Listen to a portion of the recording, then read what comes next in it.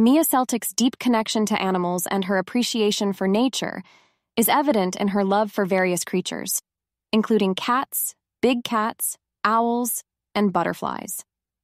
Her angelic soul seems to resonate with the gentle and spiritual aspects of the natural world. Mia Celtic's ability to hear the music of nature like a symphony is a remarkable gift that further highlights her deep connection to the natural world. This auditory sensitivity to the rhythms and melodies of nature adds another layer of rich nature adds another layer of richness to her already profound appreciation for the environment. Mia Celtic's angelic soul suggests that she carries a sense of purity and goodness within her, which finds harmony in the gentle and spiritual aspects of nature. The natural world often evokes feelings of awe, wonder, and interconnectedness, qualities that align with her angelic nature. For Mia, nature is not just a backdrop, but a canvas for her soul to express itself.